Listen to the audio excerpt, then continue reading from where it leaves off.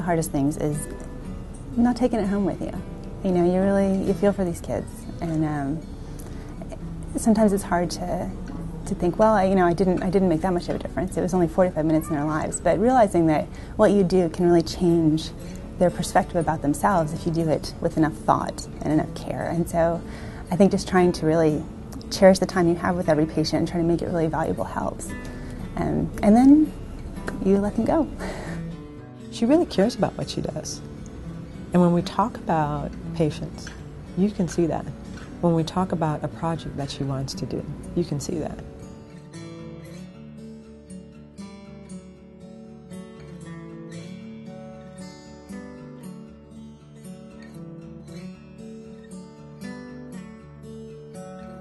When they hear what you're saying and you say, you look just like everybody else and you're normal and you're healthy, and watching their bearing change, you know, just actually seeing them absorb that information and you can almost see them give themselves some value again, it's incredible. And it's, it's my favorite part. The part I, I really admire is her passion. You have to be courageous. When you think about what we do each day in the evaluations of concern for abuse in children, um, it's not easy to listen. It's not easy to be objective, but it is what we have to do.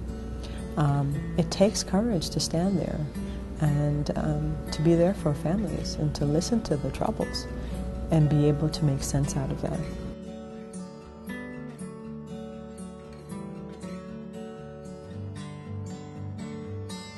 The patients that come through, you know, these little bitty children who can't protect themselves, who have come forward and are talking to strangers over and over about things that are so personal and so private. And I can't think of anything braver than that.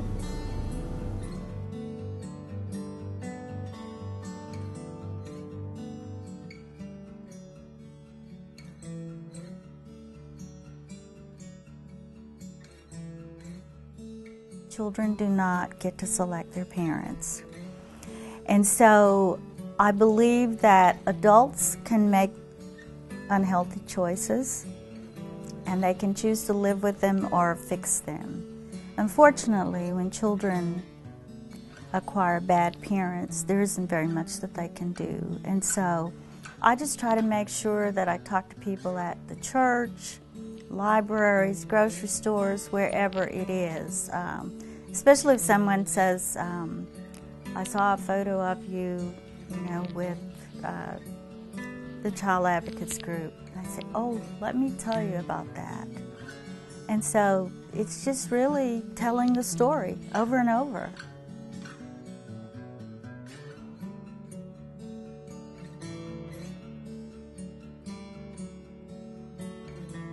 She'd do anything for kids.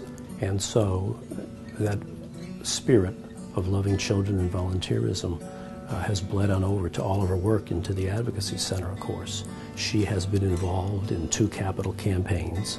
She has been involved in just about every fundraiser as a major sponsor or contributor.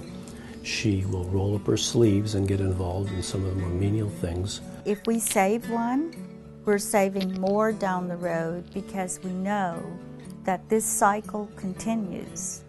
Children do what they see is done in their household. And so our overall mission is to not need centers like this beautiful facility here. And in order to do that, we all have to be vigilant and do it one child at a time. She's not afraid to take on a challenge. I think somebody very, very smart once said that uh, courage isn't the absence of fear, but it's conquering the fear that we have.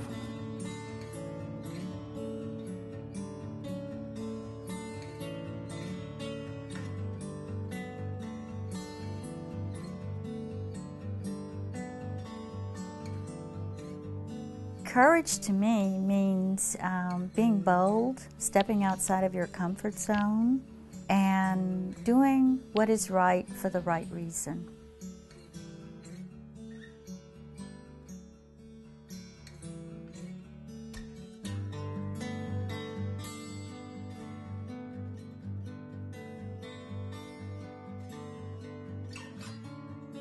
Child abuse is a, is a lifelong issue, um, but that doesn't mean that it has to be lifelong damage.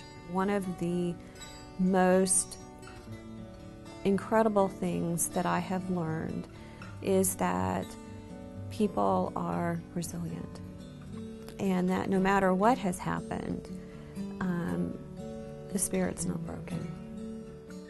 It's because of her insights and, and talents that have brought us to where we are now, including her dog Sydney, who's also a part of our, our therapy team at this point in time.